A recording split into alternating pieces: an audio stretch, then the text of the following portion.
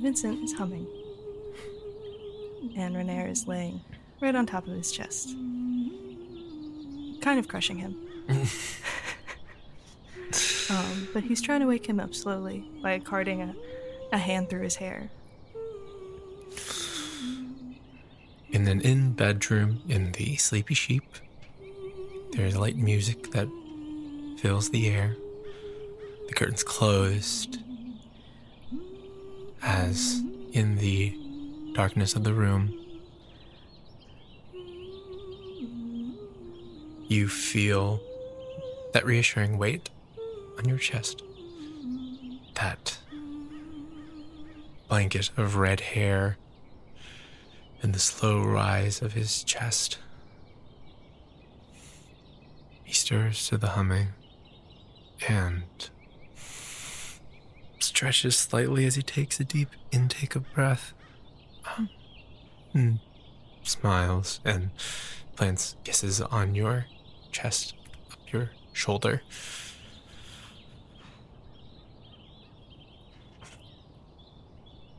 Morning.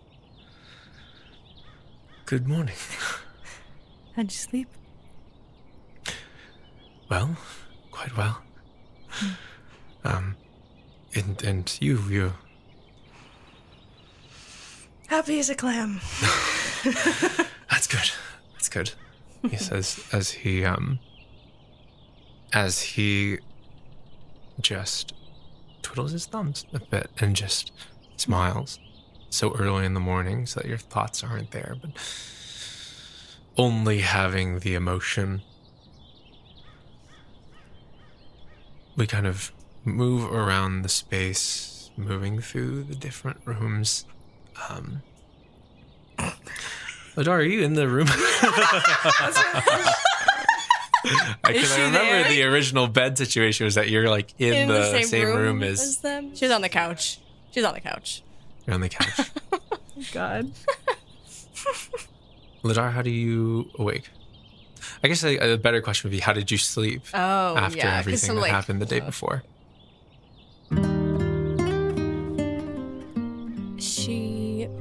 Probably was up really late by herself, like thinking a lot. But she feels very rested. She feels like she only got a couple hours of sleep, but even just that was enough to kind of like give her a little bit more life. Hmm. Mm-hmm. The couch here at the Sleepy Sheep is quite comfortable. Is your resting place this night as you had not tossed and turned, just laid awake. Um, for once, night pouring in through the windows instead of twilight. And as you awake from the few hours of rest you did get, you see on the coffee table in front of the couch that flower. Just laying there, illuminated by golden sunlight. she kind of picks it up and just kind of stares at it. Quizzically. She's like, what's this? She's just. But she has like a smile on her face, like, you know, kind of like warms her heart a little bit. And she like remembers, you know, the day that they had you know, with all of her friends. Oh, friends. Yeah. We see the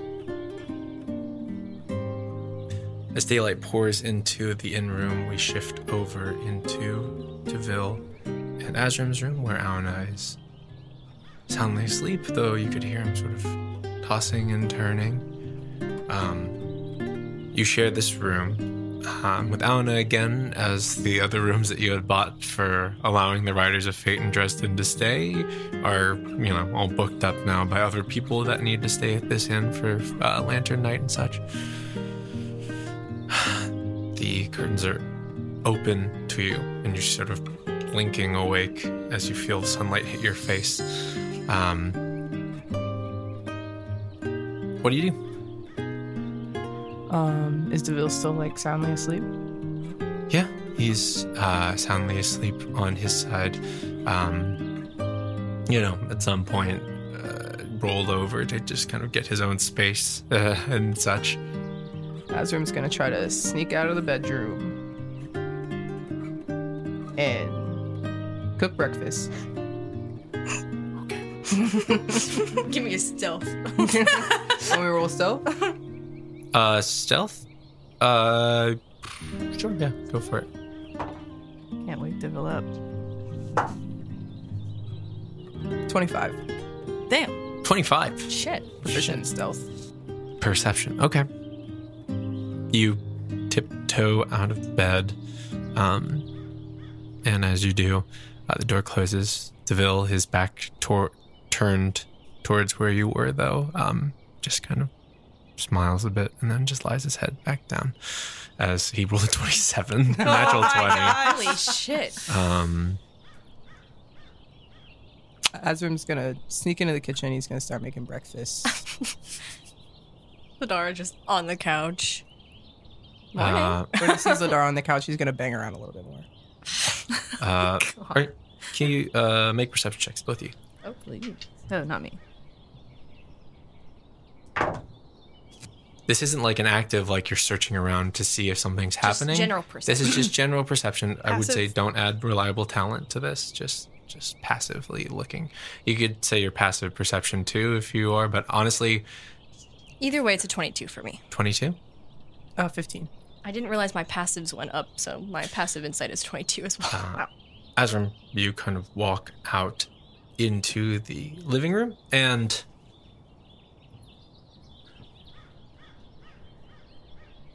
you put your finger on it. Something's different. You're not entirely sure what it is, but there's something slightly off. But you're just kind of trying to put it together in your head as you see Ladara sitting there staring at the flower, just kind of focusing on it, um, thinking to herself. Um, do you say anything? Uh, good morning. Oh, hey, yeah, good morning. What are you looking at? Oh, it's it's just a flower. You have a lot of those. You ever get like tired of all the fucking flowers around you all the time? Oh, well, it's, it's a pretty new thing, I guess. So, um, uh, you know, as long as I can control it more than that, there shouldn't be too many flowers. But this this was just from Auna. What? Oh yeah, he um he just gave it to me last night. He did what? He what? Why are you looking at me like that? Azrim's gonna run back into the room. Azra, what's wrong with you? Move back into the room. Um, as Ladara, you are Confused.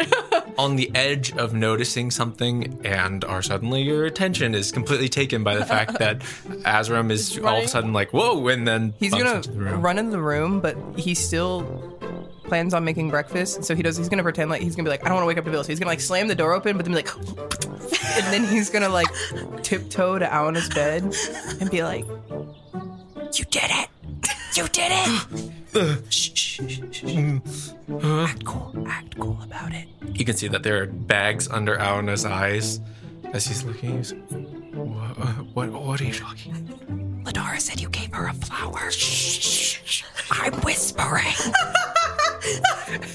Are you listening to this, Ladara? Can't hear it, but she just hears like the rustling, and she's so she's like, "What's wrong with him?" I, you said it was a good thing. You said to do that. Yeah, but I'm just, I'm, I'm so surprised you actually did it. You told me to do it. I mean, I mean, I wanted to do it, but you, I mean, Are you guys all right?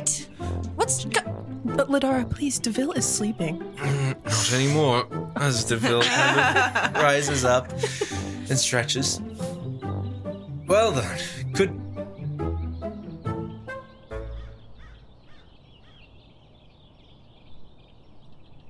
You see, Deville's eyes are fixated on the window. As sunlight pours in. Holy shit! What, what, what is, what is, what is going on? Um, Azum's running around for some reason. uh, no, no, no. Wh- Why? What? He says as he looks outside of the window, and he just kind of opens the like half dressed, opens the window and sort of peeks his head out around. And as he opens these windows, you can see, you can hear down below the city streets that are usually bustling and frantic with morning energy in the twilight are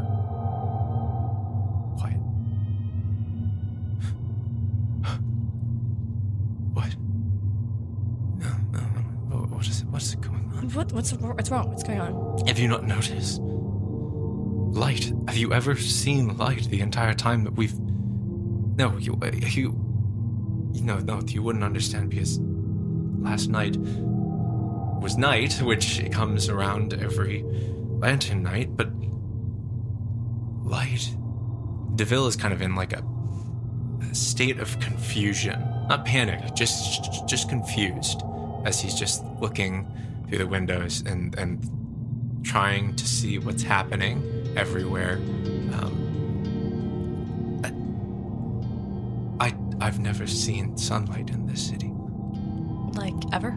ever. Why? Why is it here? What? I don't know. Uh, well, that's why I'm confused as, as to why. Why is the sunshine? What is happening? Um, as Deville goes and starts like hurriedly putting on a shirt and and like I have to I have, I have to check on something. I, I have to go. I have to go see what is this. This seems not right for a number of reasons. Do you, oh, do you want me to come with you? I, I, I, I don't know. I don't know. I, I, I I'll handle it. I'll, I'll. I, I, not that I'll do anything about it. I just, I, I just need to know what's going on. As the Deville is, kind of, But what if it's like dangerous? If it's Didn't we- dangerous, Didn't we talk about a buddy system, anyways? I th- I'm, I'll be fine if it's dangerous. I, I, There's no one out there on the streets right now, right? That's, that's what you said, right? there's, yeah, there's very few people out there in the streets, um, from what you can see. Um, not that it's like Mhm. barren, empty. There's nothing here. Go ahead and make like an intelligence check. I'd say. Um, you probably heard the slam, Vincent, and then also like the sounds of like Deville in sort of a pitched sort of state, if that makes sense. So you do hear this happening. You don't fully get the context of it. I think at first he's like, ah, it's probably just like antics, you know? Yeah, silly You antics. said intelligence? Intelligence. Okay. It's 10 for me. 12, 12. Um, I'd say intelligence or insight, I guess, is Oh, better. cool. is, is better. 14. 14. 22. Uh, you look out and look and see that there's no people on the street, um, or very few people on the street. Um, and you get the sense, Azram, you would get the sense that this isn't normal. That this isn't like the post lantern night. There's a post lantern day where sunlight is all of a sudden like shining throughout the city and, and like that sort of thing. But then, no, I'm saying, but then Ladara, you would put together a few kind of key facts, which is that the majority of this city, a lot of them are people that have sunlight sensitivity to sunlight in some way, like like Mhm. Drow or Duergar. And so there's a lot of people that are probably inside of their homes because the sunlight is uncomfortable to them. Mm. Oh gosh, this is not good.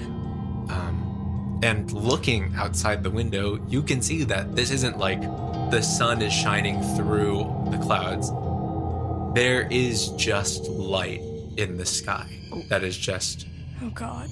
the sky itself is this like sickly yellowish color and Uh-oh. like light is just like pouring in, in in different areas around the city itself deville is kind of hurriedly putting things on and is like i just need to check with some people i'm just gonna go down you, can- you can come if you want okay I- I- it's just i i need to I, i'm just confused in in all my years of living in this city i've never seen sunlight something is wrong Well, we know who's in this city. It's not great people. Right? Yeah, they are. So, it could be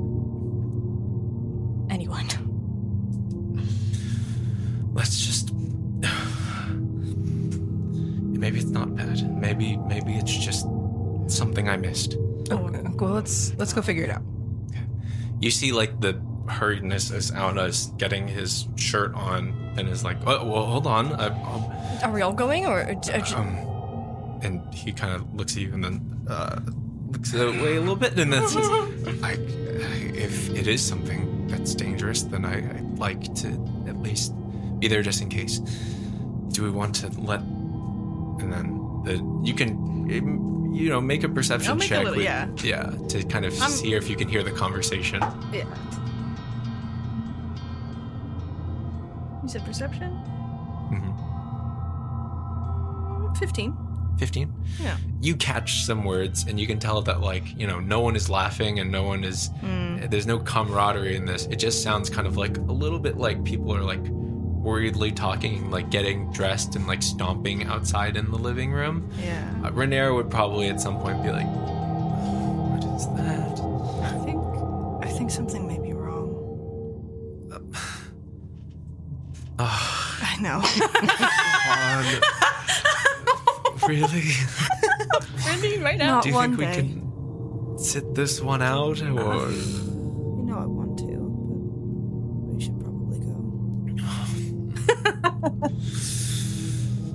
Okay. And um, he begins to sort of get out of the bed uh, and get his clothes on to um, get started as you open the door to the living room, and all of a sudden there's just bright light in Oh the my room. god. Ugh. Oh, our like curtains were closed.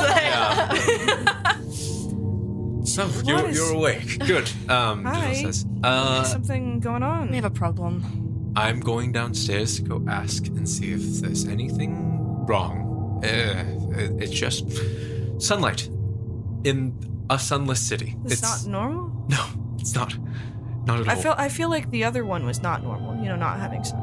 not having But I guess is for not this in this city, in this Okay, city. let's- It's normal to not have the sun for a number of reasons. And if there is sun, then who, who, who do we who do we, who do we talk to about it? Like what what who made the the twilight eternal twilight happen in the first place? Maybe it's. they.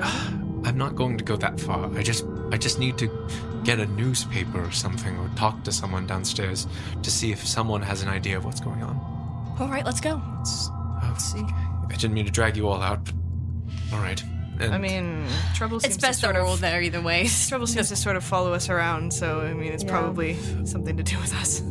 um, you can kind of see that as you kind of open the inn door and make your way down the stairs, you can hear that there's commotion in the lobby.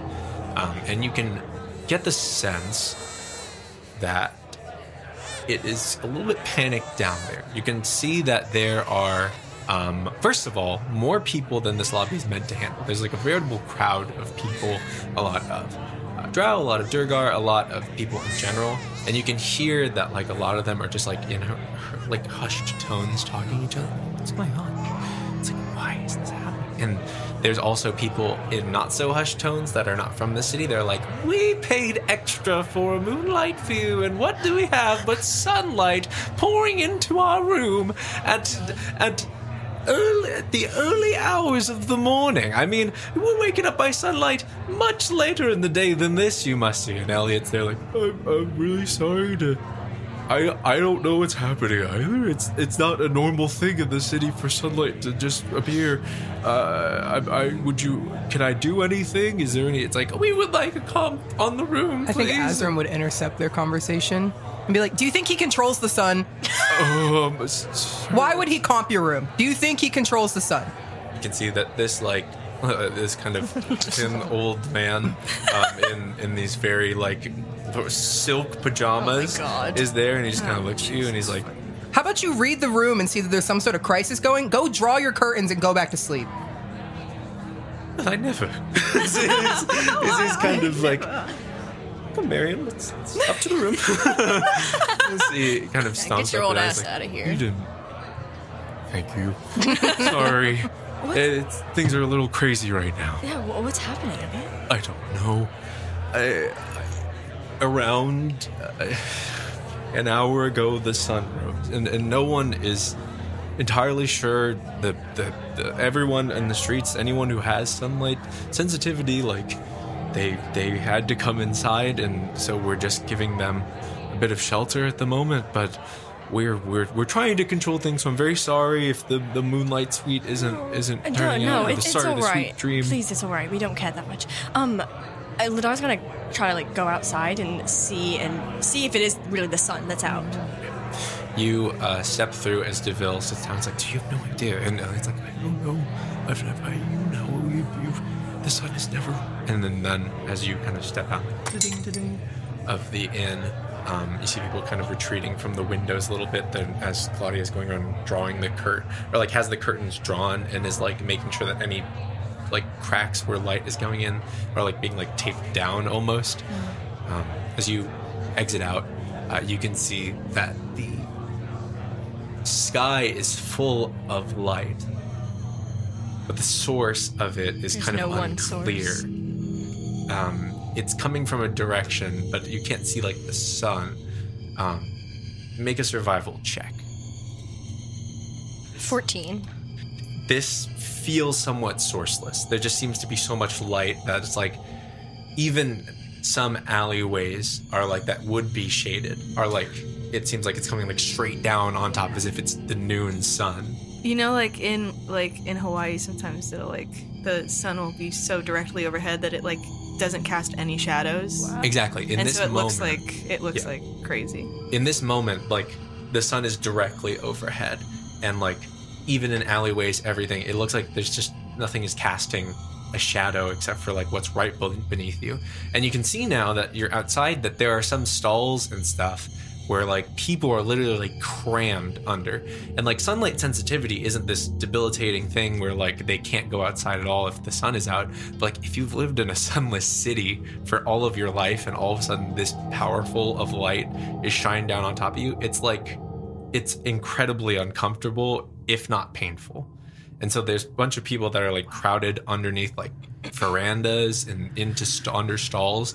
Like if buildings are being like opening their doors to like let people in that are, have this sensitivity to sunlight, as the streets are empty, and your suspicions are correct. They're empty because people are hiding from this light. Oh God, this is not good. Yeah, that doesn't look good. What is it? What is it? Sorry, good. I was just gonna say Azarim would probably come outside and join you guys as well. Um, I want to know if it feels like sunlight. Like, is it warm like sunlight is? Does it feel like I'm basking in like sunbathing right now, or does it just is it really bright? It's warm at first, and then it's just hot, like hmm. uncomfortably so. It's like the sun shining directly on you, and like, like like a the more you think everywhere. about it, yeah, it's more like a spotlight that is just like hmm.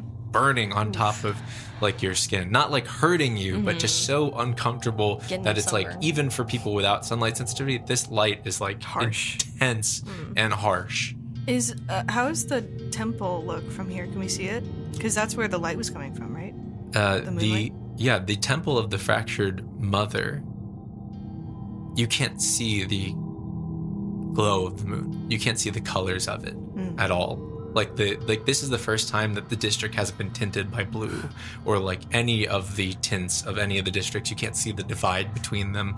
You just see like all of it washed away as it is so overpowering. You hear above like the flapping of wings, and you can see that there are like um uh Aarakocra that of the of the uh CCG, the Central Centralized Carriers Guild, that are like you can see them like dropping like uh, little like uh bundles of newspaper that like feather fall as they get closer to the ground and then just kind of like like land in like baskets outside of people's houses um as you are seeing like all of these all over the city like these Aarakocra are like delivering these newspapers Grabbing the first one I see. We are open that shit up. Yeah. What does it say?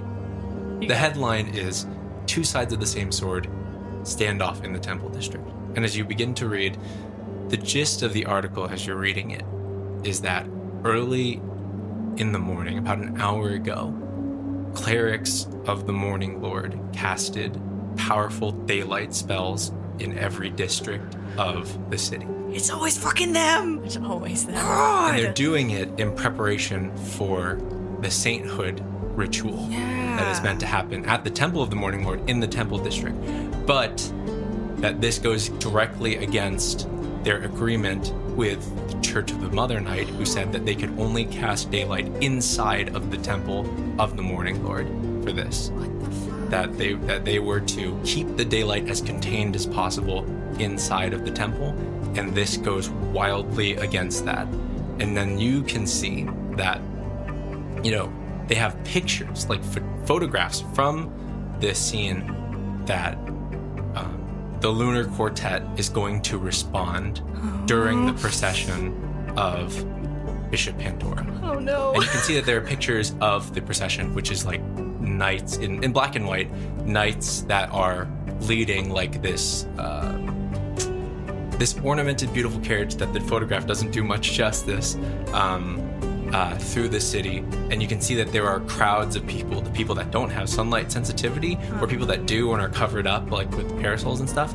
Like, like there's like a line of guards trying to keep them back to not start anything, and then knights that are also like like marching alongside with like hands on hilts on their swords to like put d- as a display of force that this is happening right now in the temple district. Does anybody know anything about like historically? If, do we know anything about that ascension? Like I know we read about it, but do we like any of us have like background knowledge about that? Make a religion check. Oh, I got no natural one, so I don't even know why I switched dice anyways. no. Uh, sixteen for me. Three. Five. Damn. It's very unfamiliar ritual. It's not really one that you hear much about. You know, sainthood, in terms of the most basic understanding of it, it's big. It's some kind of really big title. It must be. To become a saint of the Church of the Morning Lord, this person must have done something quite enormous for them. Um, Right. you know, just the title of it. Like, when was the last time you heard of someone like, oh, there, there's a new saint, by the way? Yeah. Yeah. They must have lived It's like a really wild life. Exactly. Yeah. And if you're not, and if you're not like part of the Church of the Morning Lord, the chances of you hearing about something like that is Okay. like is even smaller. Small. Okay. You flip through the pages and you can see that there are more pictures of the scene. Um, you see that there actually is like a small interview with Elizabeth, um, who says, "I plan to stop the procession." Like Elizabeth, pe- the people of the, that that says, like the the callous attitude of the Church of the Morning Lord is endangering the lives of people in the Temple of the Fractured Mother. The moonlight of the Fractured Mother does not function if the daylight overpowers it so, and people are dying. Oh God, like people are suffering in here, and it's like I will put a stop to this, and that you know that that it sounds like she's about to like make a stand God. over there in the Temple District. And you get more pictures of procession of the knights of Bishop Pandora. You see that tensions are rising in Mm-hmm. the Temple District, very intensely. We gotta get there. Um, Ladara, um, kind of freezes for a moment and immediately starts walking in the direction of the temple. What? What? Wait! Wait! Wait! Wait! Hold on. What? What? What are you? What are you doing? This Where are you is- going? I have my suspicions of who is there. Okay. We need to get over there. all, all right. Uh, Is it? It's not good. ooh, Should we take a snail? It's faster. Deville! Deville, Deville! What is yes, the fastest way? She looks determined. What is the fastest way we can get to the temple right now? me. she says as he starts uh, running over to where all the snails are parking. You hear like, if the snails could make the sound, like a skirt as the snail. One drifts around. more. We're like, okay, do we have everyone. Instead, it's like a. Yeah. yeah. that was horrible. Everyone is gathered. We get on the everyone sound card. Yeah, we're like, she's like, we're going now. Hold on, I, everyone. I gather Renair into my arms. I'm like, please don't. We're like, Aun- Auna's here. I'm good. I'm all right. Oh, vision! As Deville takes off and you are speeding through the streets. It's not hard to do now that there's no one in the streets currently, but you whip around onto the snailway and you can see the extent of it throughout the city as the closer you get to the temple district, the more populace of people are gathered as people are marching through the streets outraged um, on their way to the temple district. To the point that as you kind of pull in, Deville has to slow down in order not to like hit people. She's gu- jumping off. Ladar, is it someone we know? All right, as Ladara, you disappear into the crowd oh, just God. without She's a, determined. as- without a word. Auna is off too and trying to like push through. Is like Ladara, w- uh, wait! As you are all making your way, what do you two do as you are kind of I- still there? It's like it's gonna take me a long time to find parking. I'll. I'll gently get Renera down. Is this like the last thing Renee remembered too? Didn't he like Yeah, last time he the exactly. Sally car, he like passed out? Exactly. he, he was like the. That's why Vincent's like, please don't fall off. Because the last time I, he almost fucking did. He got to Lunastra, got on the snail, passed out, woke up. On the snail, Walk passed out again. Literally. Um, are there like uh like street lights? Like, do they have like street light type things in the streets, or like any sort of like a bunch of like signs or anything like that? They have streetlights. They have uh, signs. Uh, they they have streetlights that illuminate the streets at night um, to some extent, um, or at night at the normal like amount Yeah. of darkness that there is. Um, what are you looking for in particular? Uh, Azram is gonna want to try to get closer by um, he's gonna like Tarzan that shit and grab his whip and start swinging yeah. through the street lights. Fuck yeah. Fuck yeah! yeah, go ahead and make a make like a spell check for me. So charisma plus charisma. I guess augment almost. Or are you just using your whip, no magic? Um, honestly, he was just gonna use his whip. Oh, shit, then uh, acrobatics check. Wow. Swing like. Uh, eleven. 11 you begin to kind of swing above people and are able to do this and around like the third or so streetlight you're like kind of losing momentum and then like you're like above everyone like swinging and then they're like what are you they're all like they're all like down with the and then they're looking up like confused as you're like i'm trying to Can he try doing it with magic? Is yeah go ahead and make a spell check now now that you the whip works out for like the first two surprisingly well then the third one you're like i'm just kind of dangling right now currently Oh, Spider Man. Sounds worse somehow. Um, plus my augment is fine oogie.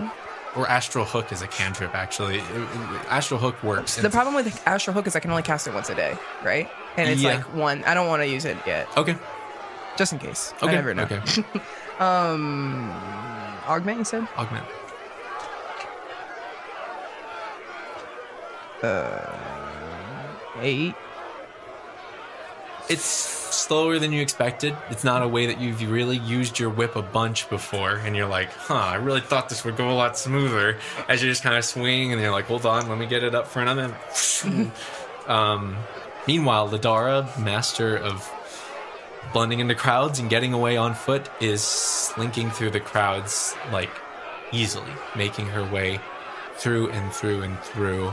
Um, you can hear the incensed talk of people that are rightfully upset, of people that are angry at the fact that like the, the citizens, their neighbors that they share this city with, are now forced inside and just because of the one one institution thought that their ritual was more important than literally everyone else in the city.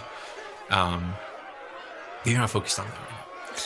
As you push your way through Vincent Renair, you get down and kind of We're begin to make trying. your ways through the crowd. Um, If it's not working out, then, you know, Park it on the snail. no, I'll find a way to get through it. Um, you all are pushing through the crowd at different paces. Ladara trying to make your way through to the center where you can hear the most commotion is happening. People are chanting. Um, people are, are chanting to to um, like it's accelerated to the point where it's like down with the morning lord. Like at first it was probably like turn off Hell the yeah. light, but now it's like down with the entire church. Like people have like improvised signs. People are are like chanting and angry at the front of this line. You can see that the the people like holding them back are Lunastra city guards who are like not entirely sure what to do with this situation because they have a stake in not that there not being a massive brawl between knights and citizen. Um, but you get sort of towards the front, and you can see that much further down the line, uh, you can see like the carriage being pulled. Like it's probably like at this point for your perceptive, like just passive perception, like quarter mile or so down uh, the way, already making its way. The carriage is stopped that way. Um, Vincent Azram, you are making your way and you're trying to kind of see from your perspective as you're swinging through, it does give you a good vantage point to see where that carriage is as well, and that it's completely stopped and that there seems to be some sort of confrontation happening like a quarter of a mile of a way down.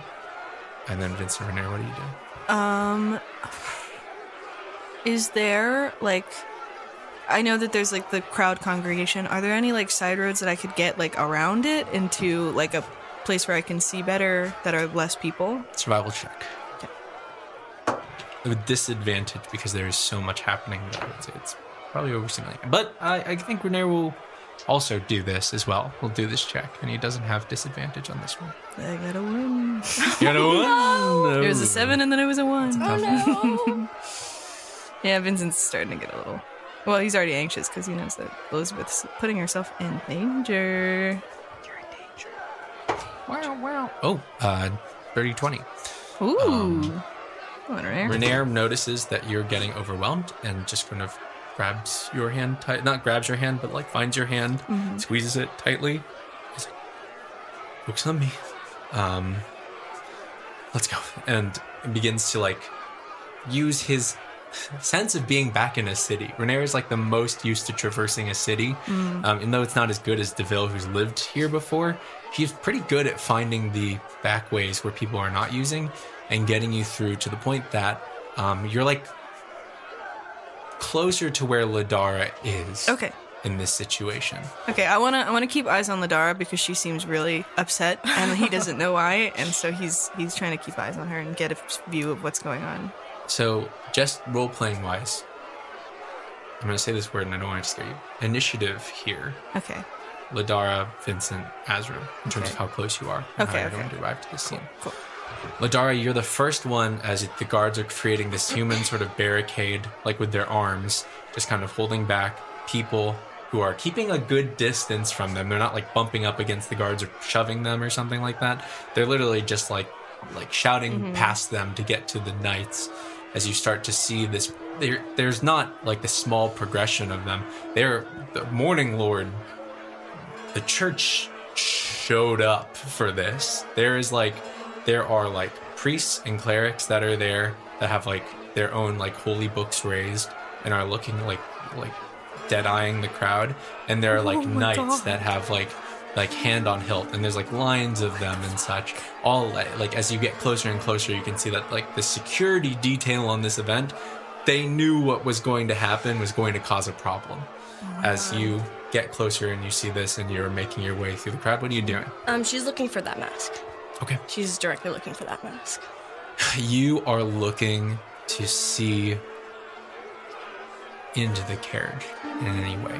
You're looking towards the carriage. It's the most likely place that they would be.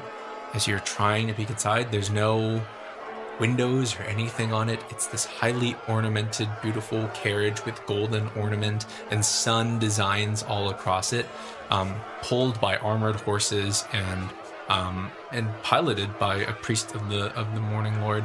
Um, but you don't see that mask anywhere on the outside. You know that whoever is there is inside of this carriage. Okay. Um, How close am I to the carriage? you are at this point probably like 60 feet away. And there's like guards. There are guards that are Lunastra city guards that are the first line of defense, trying to keep people back and keep up this sort of path that this par- uh, like carriage is taking its way through. And then there are knights that are like standing by the carriage, like spears, halberds, swords, that are just like all like providing heavy security. And the carriage is stopped, you said. The carriage is stopped by Okay. not their own choice, from what you can tell. She's gonna. So, am I like as close as I can get without being past the guards? Currently, yes. You're, you're, yeah, you're like still in the crowd, but yeah, they've created some distance between like the crowd and the carriage. Can she see the commotion that is happening while the carriage is stopped? Uh, yeah, make a perception check. This will be your action for this turn. Is getting a lay of the situation. Perception, yeah, is is probably best for this.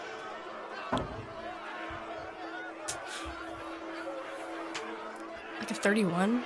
Yes. Whatever 19 plus 12 is. Your ability to assess threats and everything that is happening in a situation all at once in the most panicked of situations, though it worked very well for assassinations, it works well here as well as you are suddenly very you you make yourself aware. You cut out all of the noise around you. Everyone shouting all at once and you assess the key players in this situation in a moment. Like you know who is a threat and who's not. Church of the morning lord is stopped. You can see that the knights are backing up priests who are negotiating and arguing towards as you get a better view of them the church of the mother led by Elizabeth. You can see that knights of that church wearing silvery armor um, and um, with their sort of pale, loose uh, clothing and sort of their darker garb in some places, like are tense with weapons ready. And you can hear that around you there is the conflict has started there. Elizabeth is Elizabeth is very like passionately like digging into this priest as she speaks on about how the people in the church like your actions will kill people mm. will harm those that are in need. The fractured mother is not one to be trifled with and to think that the morning lord can swing his weight around Let's go, it's Elizabeth. impudent in my city. And this basically is like this and the priest that is there. You don't recognize Surprise these people but um, the priest is there sort of older man with a more sallow face and very ornamented golden and white garb. Is like i bid lunastra learn its place in these affairs. May i remind them that it is by the church of the morning lord that they are free to practice this heretical religion as the as um, Elizabeth is trying to keep her cool, but is just like very upset. Um, but yeah, this this is your turn for now. Vincent, you approach on the situation, and you can hear the very uh, passionate argument that is happening as you hear. Now step aside before the knights make you. Oh my god. Uh, can I? I'm gonna message Ladara. Yep. I'm gonna message Ladara and I'll be like, "What? What is happening? What? Who? Who's in there? Like, what's what's going on? Do you need me to do something? Do you need to to to, to see into the the, the, the carriage? I, I don't know what you want me to do. Can I? I can respond. Yeah. I need to get whoever's in that carriage out of the carriage. And I need to talk to them. That's what needs to happen first. She's like, like, my one track mind, like on a mission, like, Okay. so So so get the person out of the carriage. that's the goal. Okay. All right. I could try to scry into the thing, into the carriage, if you'd let me do that. I mean, let me try. It's a it's location, right? It is uh, clairvoyance. It's invisible sensor within a location that is unfamiliar and obvious, or Unfamiliar and obvious. Is there any like line of sight that needs to happen? Um, uh, an obvious location that is uh, unfamiliar to you, such as behind a door, around a corner, in a grove of trees. Perfect. All right, you So- cast clairvoyance. And I will do it with sight. Perfect. You cast clairvoyance on the inside, pic- picturing the inside of the velvet carriage, trying to see who is in there. You get an image in your mind's eye as you are seeing the knights in their armor, all crowded. You see that there are some that look far more battle hardened and far more um, stern. There would be tough customers to deal with. And you can also see that there is like a figure seated inside of the carriage, smaller figure. Um, they are wearing these like highly ornamented robes, um, and they are their stance is very into themselves right now. Um, and they currently, you can see that their face is like covered by a mask. Um, Not the mask, right? not the mask, no, Okay. by a mask Okay. um, with their hair that is like tucked into like a like a hood almost, okay. as they just kind of sit um, patiently.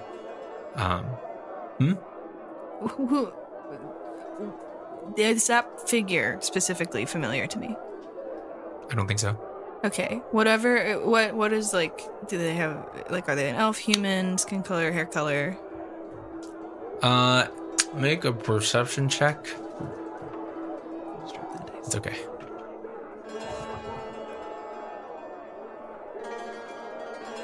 Eight. A lot of their features are very, very hidden for for a number of reasons. It's very hard to get much about them. Make an Arcana check. That's better. That's a twenty-eight. Twenty-eight. Oh, I get a whisper. Oh God. Okay. And I mean, if you'll allow me, I would. You can love share it to- if you'd like. Yeah, share that. I up mean, to with you. whoever it, I I am able to. Lidar Probably first, and then I'll inform Azram about what I saw Mhm. in there. Okay. Oh, of like the the person. Yeah, I'm like, there's see a person Okay, I couldn't okay, really okay. see what they like. Something something's Yeah. a little off in there, but I can't tell what it is. Okay, cool. Okay. But I did I didn't know who it was. That's your action. Uh, then That's to what I got. Azra. Um, we'll say that Vincent is able to see you swinging from the tops of the of the. Azram light never poles, makes himself in- inconspicuous. and the, the other people are noticing you doing this, but they're not immediately thinking that you're doing something. I mean, they're just thinking that you're you're being. Uh, perhaps a bit of an instigator in this, but not in the bit that they're going to start fighting you. Um, but you hear the situation from Vincent. So the cart is our goal. I like look at him from around the corner, and I'm like, big thumbs up. yes, you're all. You, yes, correct. And Aspen's like, all right. And he Jesus. um he's gonna try to swing and land on top of the cart. Here we Oh go. my God. Oh Jesus. This is a big make an augment check. This is with magic to to kind of augment. I see your, start to do that. I'm like, no. a little forward. I have five gray hairs. Honestly, just the show dog would probably be like, "Oh God, that's not. That's not. Could have done so the many cart other was the things. goal. not to get on top of I'm like, it." yes, no. But I was like, I have a plan, and What did oh you God, get? I'm gonna fucking die. I got a natural Yep. one. Oh. Yep. Yep. They did. Here's what's gonna happen. It's plus five. You swing towards the cart, and I will. I'm gonna say this for the purpose of storytelling. You make it.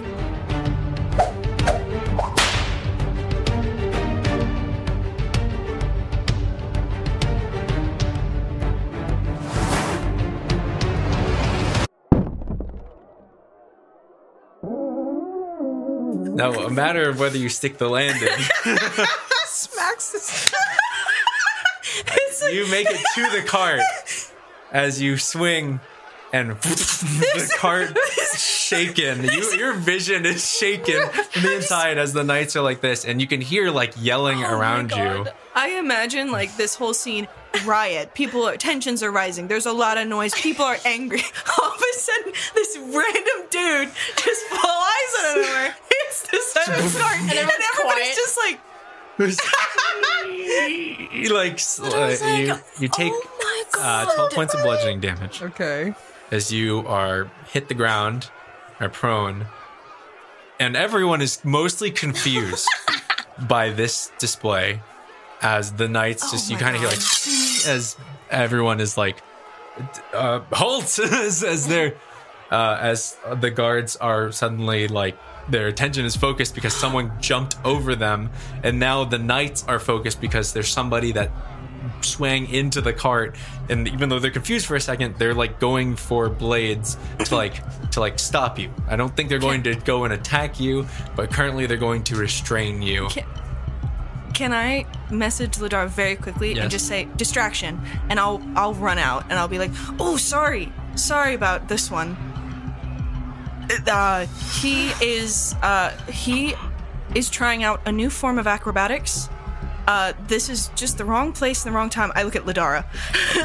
Make a deception check with disadvantage. I'm I'm like, we can handle this. Ladara, get in there. The knights are at first making their way, shield and sword in hand, towards Azram, and then as you run out and get behind him, like there were already guards nearby the cart that were probably congregated more towards the front just because there's the commotion in front, but now they're all like congregating to the sides, and you're finding yourself slowly starting to be surrounded as they kind of hold shield and sword towards you all. You can see them like light up with like divine smites as they're seeing this situation begin to escalate. Twenty-two. I'm like, he's a circus performer. This was it was just set up in the wrong place at the wrong time. Azra, come on, get up. Come on, buddy. You are being kind of pulled up off of the ground. As they're doing this, Ladar is going to um, try to get into the cart. Stealth check. Major stealth check. No advantage because this situation is very disadvantageous in terms of like there's not a lot to cover you here except for the fact that there's this distraction. I didn't realize my stealth was plus 14. But it is. Damn. So it's a 24. 24. Odara, you immediately start trying to find blind spots, making your way through. As people are focused on what's happening in front, and there are guards focused on what's happening in the back, you're able to just kind of, as people are starting to get closer to the guards, who are like, back, back, please, please, the situation is not safe, as you kind of use that to get through the barricade a little bit, um, making your way over towards the cart. Um, no one seems to take notice at this current moment. You get up alongside the other side of the cart, trying to be able to sneak around, um, and to the side that Vincent, uh, Vincent and Azram are not on. As you stand to your feet, Azram, what do you do? Azram's gonna like look at all of them and he's gonna have like eldritch energy like crackling in his hands and he's gonna be like turn the fucking lights off it's like, oh no. That's the name of the show. Is turn the lights off.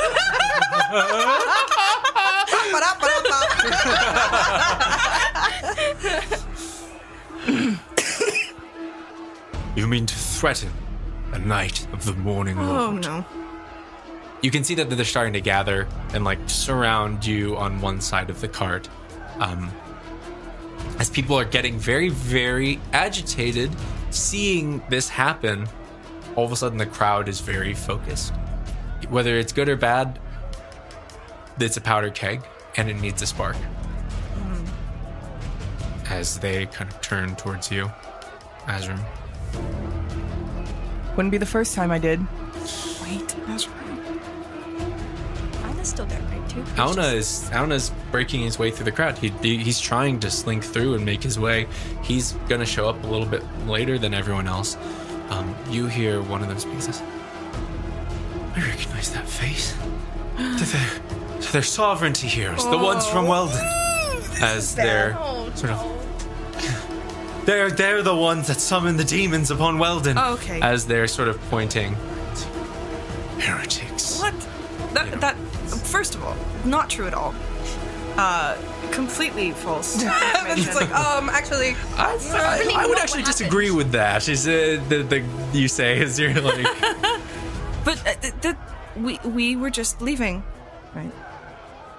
Azram's still like eldritch energy crackling he's preparing a spell he's like thinking it he's like What? let me out him God, I don't even know what to do with the situation. We really Um, got ourselves into some shit here. Vincent. It's not looking like there's not much talking your way out of here Yeah. currently. In this situation, Seems pretty bad. this situation, not that it's bad, you are very powerful, but I will say that the situation here is escalating um, to the point that you'll you're going to have to make a choice on whether you are running or whether you are standing your ground or at least giving Ladara enough time to do what she has to do. Uh, balancing act between I want Ladara to do what she's got to do, but I also don't want all these people, all these like civilians, to get hurt. Yeah. I actually have to roll to see how negotiations are going. Okay.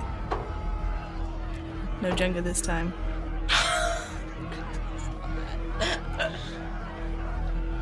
As you are sort of being approached, um, you hear this kind of like, and you hear like gasps from the crowd um, as you see over the shoulders of the knights.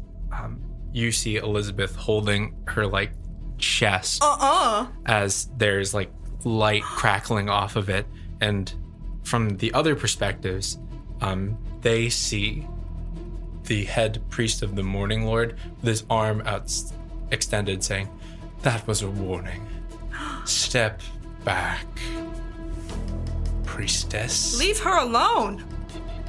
What are you doing? and he looks over his shoulder and turns to you.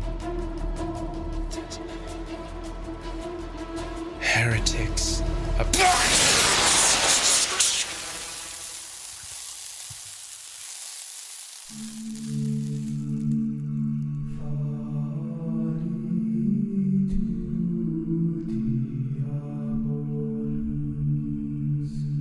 You see a high priest of the morning lord turn to dust. And from the crowd, you see a weak and heaving Rosanov stepping through as the head mistress of the Magus Academy murders a high priest somebody! So- as everyone is stunned at this as she runs to her daughter's side. Elizabeth, are you okay? Is everything all right? Fuck! And she stands up as every all knights are now turned away from you and are drawing their swords. Ladara, it's your act. She's getting in the car. Holy shit. You just killed somebody. You open the door of the car. You know that there are guards inside. You know that they are going to stay be in there when you open it, but this next move is critical.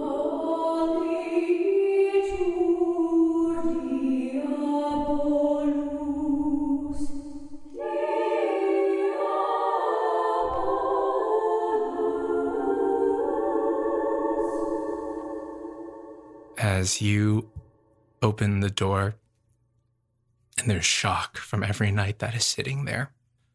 As they go to draw swords, as they go to start casting magic, all you do is make eye contact with Bishop Pandora. And you see crystal blue eyes look towards you that widen and water. Oh my god. Oh my god. And beneath that mask, you know there is a smile that could part the clouds.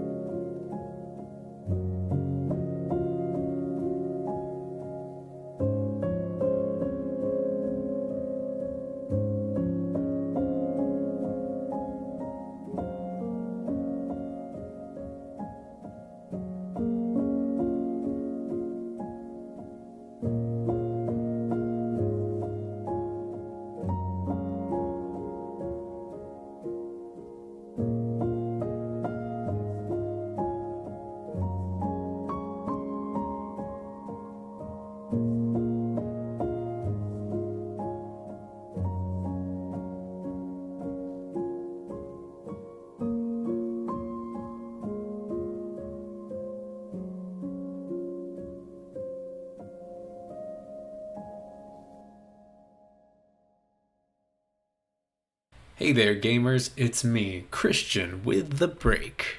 Thank you for listening to the season finale of Moonlighters. That's right, this is the final episode of season two. Thank you for sticking with us through this wild ride that has been Moonlighters.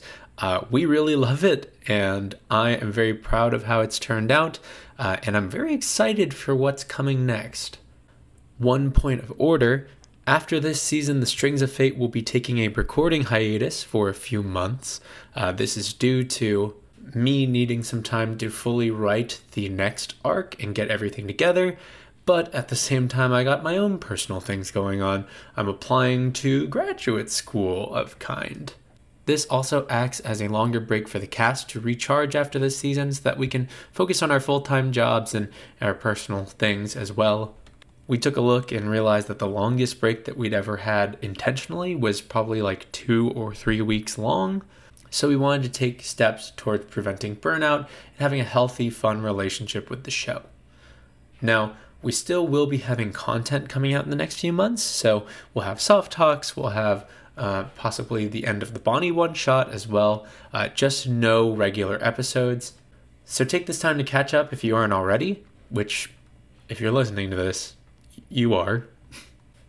Talk about the show, show the show to your friends, etc. Uh, and thank you for listening and for understanding. On to the break business. This show is sponsored by Dungeon Depths, your one stop shop for quality gaming supplies with character. Olivia from Dungeon Depths is a wonderful individual and they run an amazing shop and they help us with giveaways. Right now, you can go to shopdungeondepths.com and use the code SOFPOD, S O F P O D, at checkout for 10% off of your order. Please go show them support. They have been an amazing sponsor throughout seasons one and two, and we hope to continue with a long partnership going forward. Thank you, Dungeon Depths, and thank you, Olivia. This show is also sponsored by Roll20, a virtual tabletop that helps you connect with your friends online to play virtual tabletop games. You can check them out at roll20.net. Finally, this show is sponsored by you, the viewer. Our Patreon helps us to keep the show up and running as it helps us pay for fees. It helps us pay Karissa, who helps us with our social media. We don't make enough to pay ourselves, but we do make enough to upgrade different parts of the show. So it helps us with equipment and furniture for the studio that we're renting, as well as the rent for the studio that we're renting. I want to take a moment to thank everyone for supporting us through seasons one and two. We're still going to be putting out Patreon content during the hiatus, so please stay subscribed. And if you aren't already, go check it out.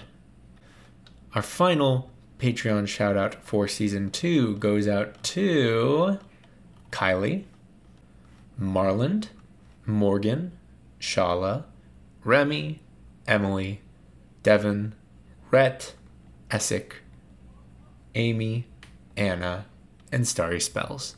Thank you all for being supporters of our Patreon at the $10 honorary bard tier. And I think that's it for the break. Thank you again for supporting us for season two. We've grown a lot this season as we've learned new things about audio editing and, you know, sponsorships and Patreon things, and it's been a wild, wild ride the entire time, but we made it out the other end. So, Enjoy the rest of the episode, and we'll see you soon. Bye.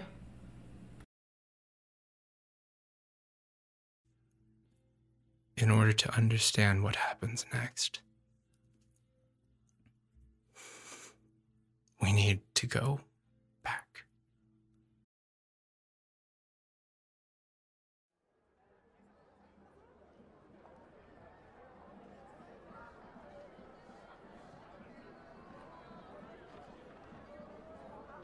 There was somebody that was supposed to see you all during Lantern Night, but never did. Dresden spent his night alone, fulfilling his promise to survey the Temple of the Fractured Mother. He watched over Rosanov as she spent the night with her daughter, watching her at the event. He surveilled the Temple of the Fractured Mother. He watched Rosanov reunite with her daughter. He watched with the fervor in which she held her and the performance from afar and could not help but grit his teeth. But he never strayed from the position once. He watched them the entire night, making sure that even far after it would become apparent that Rosanov was not going to try anything, he kept himself there, by himself, the occasional check in with a member of the Riders of Fate. And he was content to do so. Spend the night alone. The parade of moonlight jellies came and went. The night went on without complication. His thoughts strayed to what you all were doing, who you all were with. Happy you all were. Probably.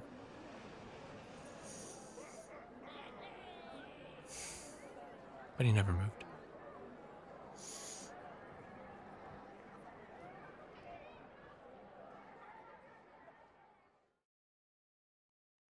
It was until the hairs on the back of his neck stood tall.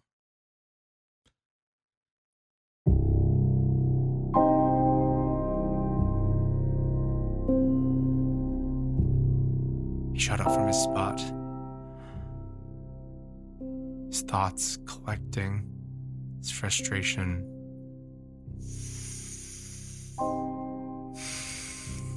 Growing throughout the events of the night. He messaged Elise. I'll be back. He knew exactly where to go after that. He could feel their presence moving. Draconic eyes, he traded away a piece of eternity for a lit a path in front of him into a store meant to be closed where the shopkeep already lied dead and the passageway beneath lied open. He trudged sewers, following every arcane glyph until the smell of waste turned into the smell of iron.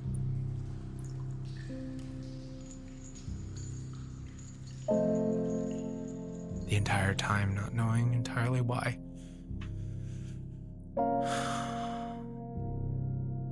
Was this an opportune time to strike? Or was this just blowing off steam? They stand at the end of the hallway, wreathed in shadow and pearlescent distortion. At their feet, the bodies of a dozen merriment soldiers, broken and bloodied beyond recognition, along with how many other civilians just trying to get through the witchwood tree that night.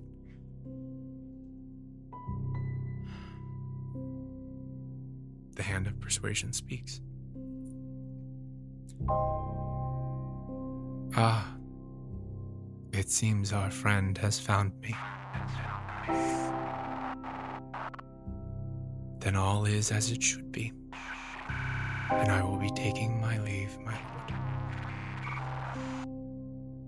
They turn, a streak of distortion still crackling in their hand. Alone at the end of the hallway,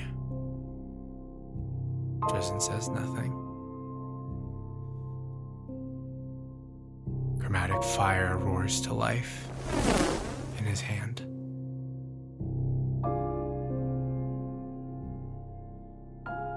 Neither says a word to the other as they are framed by the enormous witchwood tree. And this ensuing fight would go on for hours beneath the city.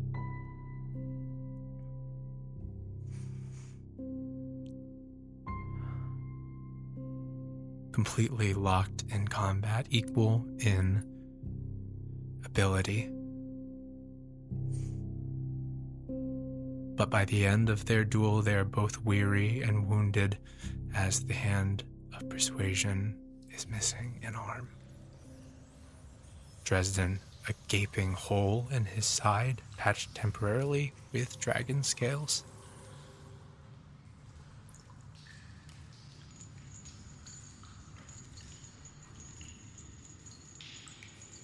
He stands over his foe, his superior in Invictus tone, who rests against the bark of the tree.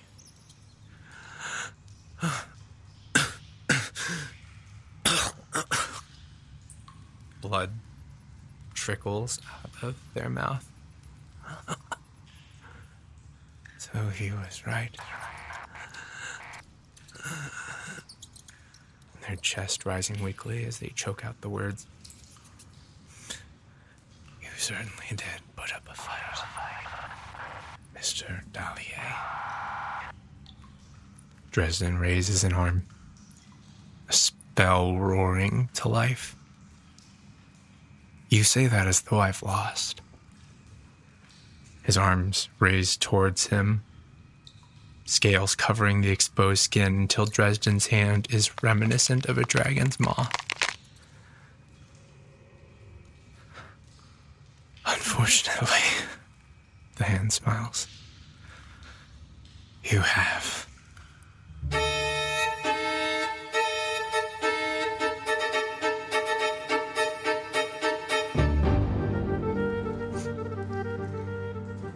In an instant, they reach out, the flesh on their hands searing against the scales as they pull the arm down and into the witchwood tree, the spell already leaving Dresden's hand. What are you. Witchwood bark, consumed by draconic flame.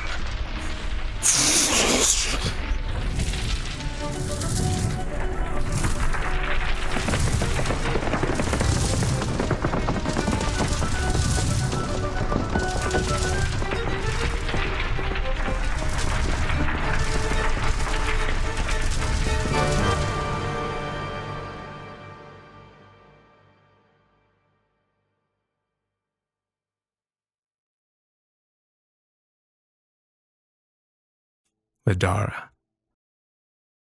The moment you lay eyes on her, the moment you feel the weight of those crystal blue eyes,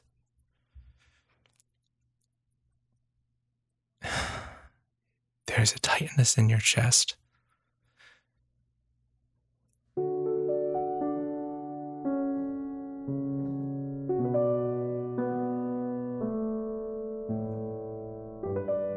Outpouring of emotion welling up deep inside of you, guilt laying dormant since you left her all those years ago. What do you do?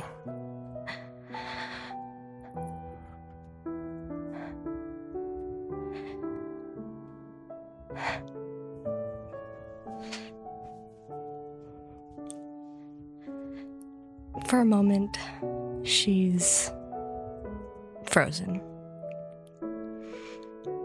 And as it starts to sink in, her eyes just well up with tears. Her breath is as shaky as ever.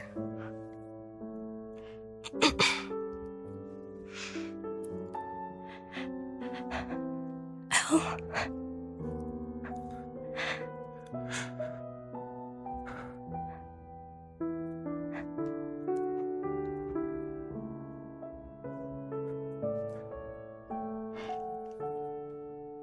came for me. I always said I would. I don't break my promises. Time moves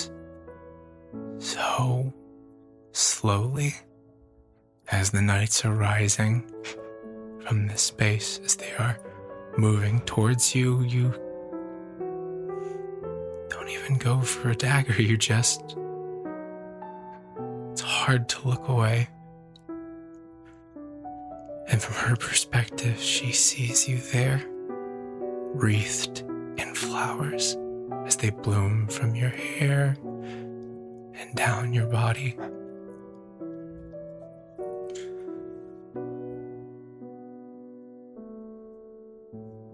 You share this moment in time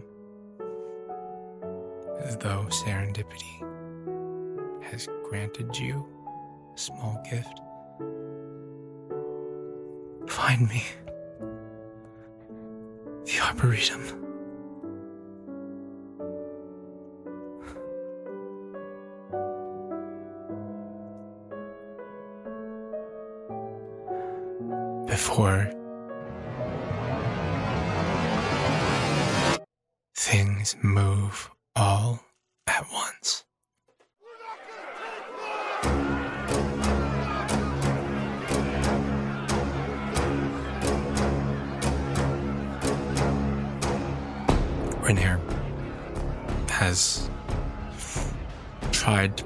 Past the guards as soon as you darted out there to get by Asrim's side, waiting for the right moment to strike, knowing that diving in would only was work to get you or his friend or somebody hurt.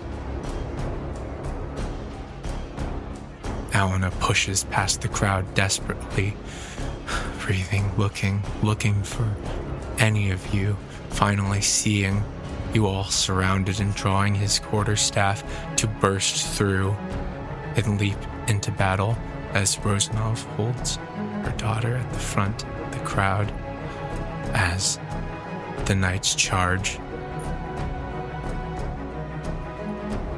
And the ground begins to shake. Oh God. The people feel as though it's adrenaline, a push to leap forward, to charge and fight for their city, to do something. And as they push, they soon notice the sound of crumbling buildings, the sound of shattering glass as cries of revolution turn into cries of panic, as imperfect light shines down on this scene, you hear a cacophony of what you can only call noise as the world around you begins to shift. You remember what it was like to be in Weldon when the bleed happened, but this is not like that. Another world colliding with your own is strange. It fades in, it's slow. This is sudden. This is fast. This is loud. As the Witchwood Market pours from the bark, you watch the Coliseum rise from beneath the ground. You watch as the world around you shifts and changes rapidly. And beneath you, you watch the earth split open and pastel light pour over all of you in an instant. And Ladara, that moment is snatched away from you as your sister fades away into light. And somewhere far from here, in a chamber of marble and gold, she's reaching outward with her hand as clerics pull her down from a platform.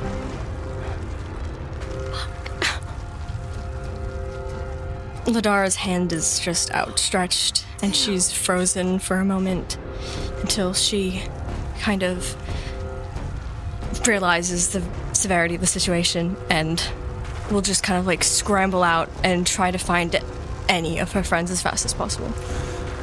She's like frantic. fall out of the carriage as the knights, the earth splits beneath them, and the carriage is swallowed by the earth. You hear the horses cry out in this uh, as they are pulled underneath the ground as you are walking through the chaos as the city begins to split apart beneath you. Rainier pushes through and grabs onto Holly. So, what, what are we doing? What the fuck is happening? What's going on? What? Auna pulls you, Ladara, towards Vincent. Rainier and says, We don't have time. We don't have time. It's okay. It's okay. I'm sorry. We have to go. Where, where are we gonna go? I don't know. Tara's a hot fucking mess right now. She's like sobbing and like breaking simultaneously. She's no help. Do we have everyone here? What- All on his side. I, I, I need to go find Deville. Where's where's, Um, where's uh, ca- Auna, can you get her back? C- c- Azrim's gonna grab them and try to. He's I've gonna. Okay, Fine. Azrim's gonna go. Okay. You split off to go find Deville. Is the light coming down from the sky still? Is that still happening? Like, That's still the- happening at the same time, but you're watching the sky shift from that daylight, oh, and it's beginning to change in color. We need to get beginning to Oh, no. split and Where are we? Where do we? Change. Where do we want to go? have to get out of oh, here. Oh no! I Uh, is is Rosanov and Elizabeth on this side? Yeah. Rosanov is holding on to Elizabeth, um, and they're trying to figure out what to do. And Elizabeth is like, "Get off me! I have to help them! I have to help them!" As she's watching people, you know, as she's watching people get caught up in this destruction. As Rosanov's like, "You can't do this! It's, it's safer. I'll get you to safety." Um, Uh, I'm gonna run over there. you run over to both of them. Rosanov looks up at you, and Elizabeth is shocked.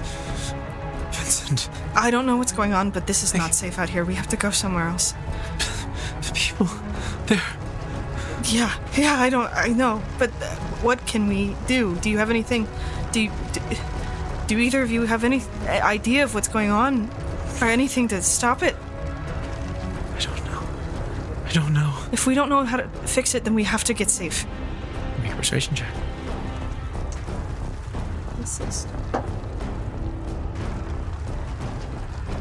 Thirty. Oh, cool. It's it was a very high DC, but Rosanov looks. He's right. We have to go. We have to survive. We can help them afterwards. Damn it! As Elizabeth is brought to her feet, um, and Azrim, you are rushing towards where the crowd is trampling over each other, trying to run from this district, but it is everywhere. You're watching buildings fold in on themselves and collapse. You are watching trees sprout up from across the city as you are trying to find Deville as best as you can. Go ahead and make a survival check to start. You can do it. Woo, come on, Nazzy. Three. Nice. There is sheer panic going through you right now as the world is ending around you and you are pushing through crowds of panicked individuals to just try and find one. Uh, A- Azram, in his panic, is just gonna grab his necklace and be like, "Wait, wait, where are you? Are you okay?" Uh, I'm still, I'm caught in the crowd. Azram, Azram, I'm here. I'm, I'm coming for you. I'm coming for you. I,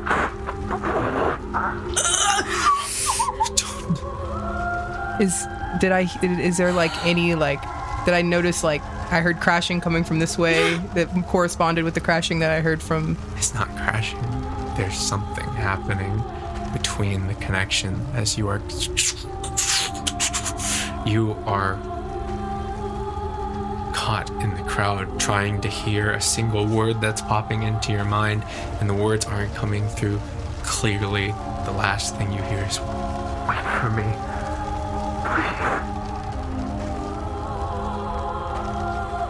as the crowd swarm around you, as the light above you is consumed by a rush of purple going upward.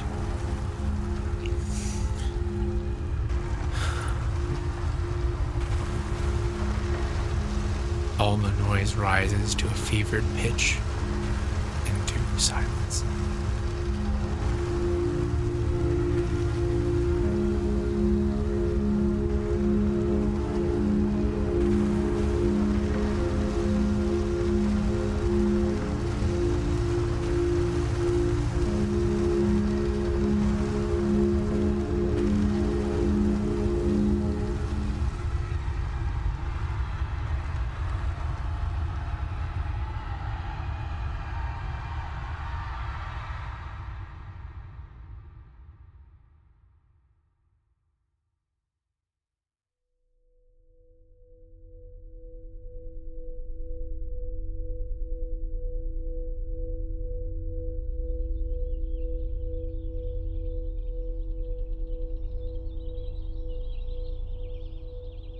Vincent, you are the first to blink your eyes. Awake after the crash.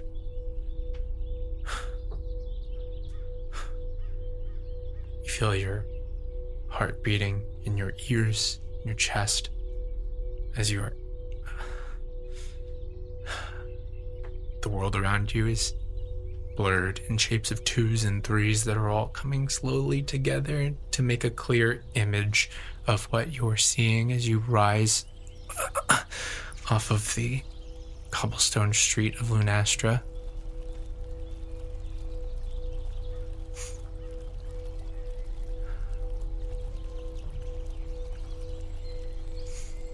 I uh, immediately go for my friends, for Renair and for Ladara.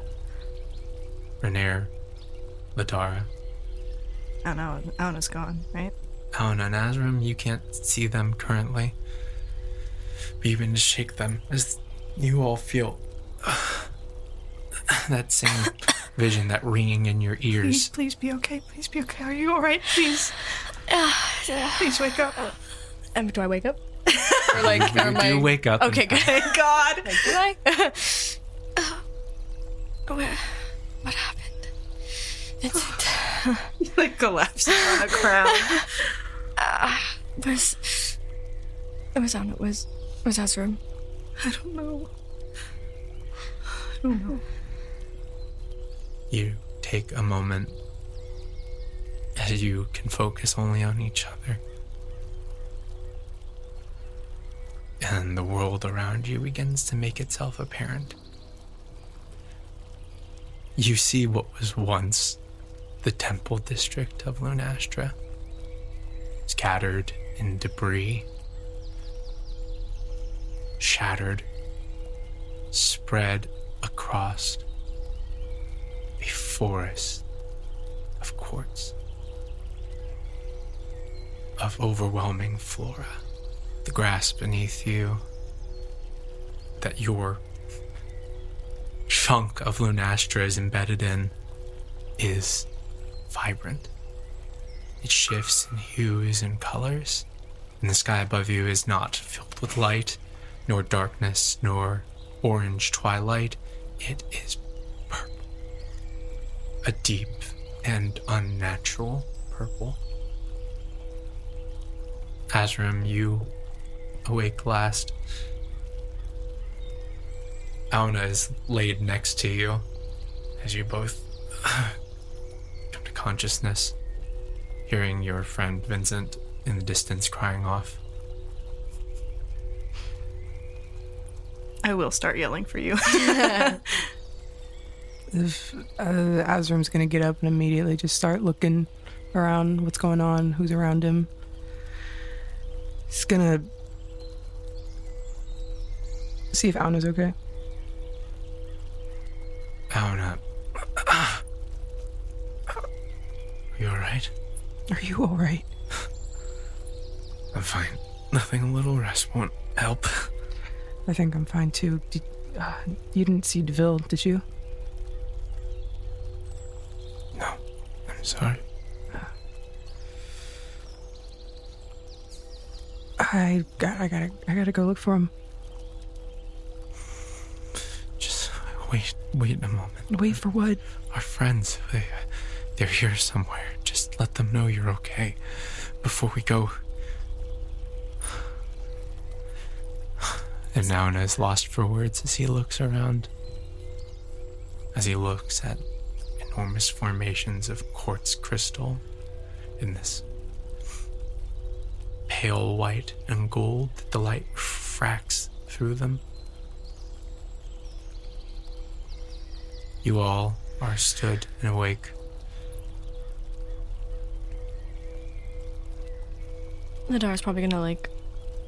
Does she see, like Azur and Ana? Can she see them from where they are? Perception, I'll see you can. She's gonna like run over there to where they are. You have to leap off of this huge chunk of the city and into the grass, which shifts colors like water, just ripples of water. As you begin to run towards them,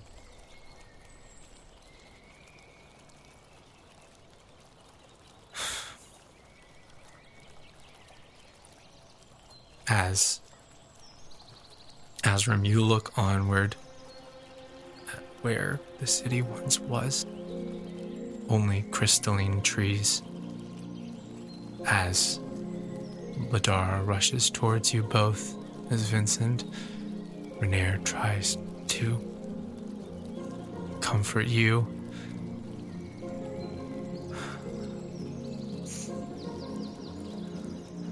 You find yourselves in a land with many names.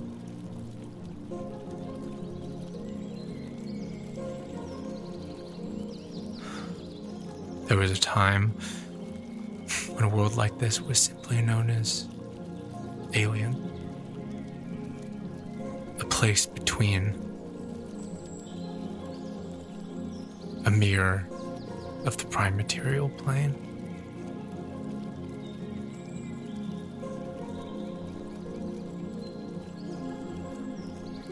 And those scholars may have called this place the Feywild. Not entirely accurate. This place is far different now than it ever was when the Fey ruled. You stand within the kingdom of the Ruby Queen.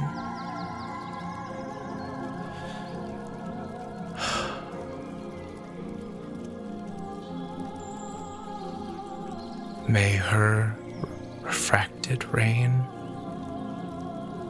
long and eternal.